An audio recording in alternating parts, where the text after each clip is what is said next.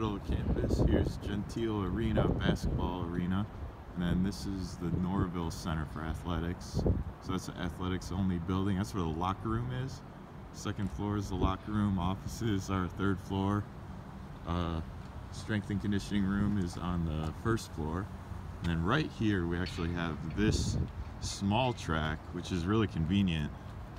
Um, it has 90 meter straightaway. Have a whole artificial turf infield here. Uh, so we, we do a lot of warm-ups here, a lot of drills here.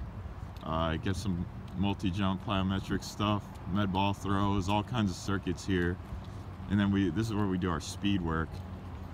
Um, we got 90 meters of straightaway track surface right here. So and just the the convenience of the location is really nice. So uh, so we're working on raw speed. This is where we're gonna be.